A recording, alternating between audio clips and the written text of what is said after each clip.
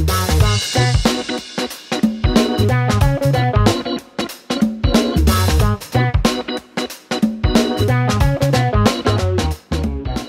pengguna Samsung, pada video kali ini kami akan membagikan panduan tentang cara mengatur lencana ikon aplikasi dengan angka pada perangkat Galaxy A52 Anda.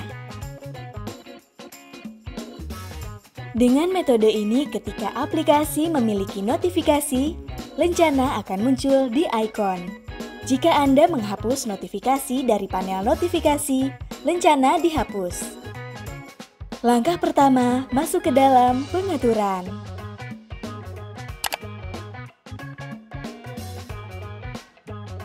Kemudian pilih layar depan.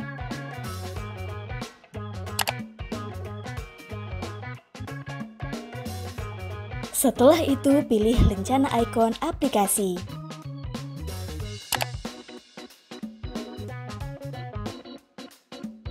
Langkah selanjutnya, aktifkan lencana ikon aplikasi.